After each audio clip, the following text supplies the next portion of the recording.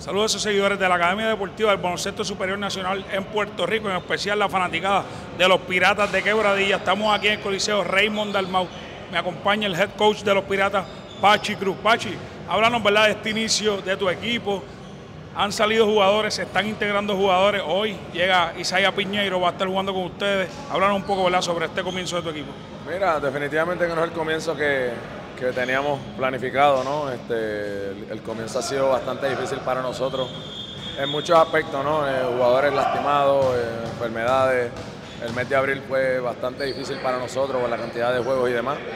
Así que nada, eh, situaciones que pasan en una temporada, situaciones que, que nadie quiere enfrentar, pero sabemos que esto es una posibilidad. Así que nada, los muchachos se han mantenido trabajando. obviamente falta mucho, mucho, mucha temporada, ¿no? Este, y estamos en una posición que, todavía controlamos el, eh, lo, que nosotros queremos hacer, ¿no? Así que la entrada de Piñero definitivamente que es algo pues, que, que estábamos esperando, ¿no? Sabemos que, es un jugador sólido, un jugador que nos puede ayudar en ambos lados de la cancha. Obviamente no es ponerle mucha presión, ¿no? De que él tiene que hacer demasiado, sino ser sólido en ambos lados de la cancha y nada, eh, un cuerpo más, añadir esa rotación y nada, este, que se integre lo más lo antes posible. También hablamos de, la, de lo competitiva que está la liga. Este, ahora mismo no podemos descifrar verdad qué es lo que va a suceder. Se ha jugado ya quizás un tercio de la temporada, quizás hasta la mitad, pero háblanos verdad de la competencia de esta temporada. Cada año va subiendo el nivel del baloncesto superior nacional. No, definitivamente que, que, sí, el nivel sabíamos, sabíamos que la temporada iba a ser así de competitiva, pero no es lo mismo decirlo que, que venir y vivirlo, ¿no? De venir a vivir todas las noches la intensidad con que se juega a vivir que todas las noches, si no traes tu mejor juego, eh, no sacas victorias. Así que ves equipos que, lo han hecho bien, equipos que, suben y bajan.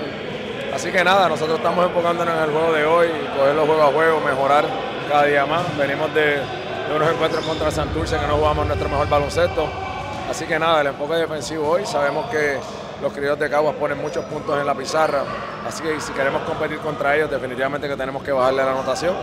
Así que nada, este, un trabajo colectivo, tenemos manos llenas, pero creo que si jugamos a lo mejor de nuestras habilidades defensivas ¿no? y con mucha comunicación, vamos a tener opción.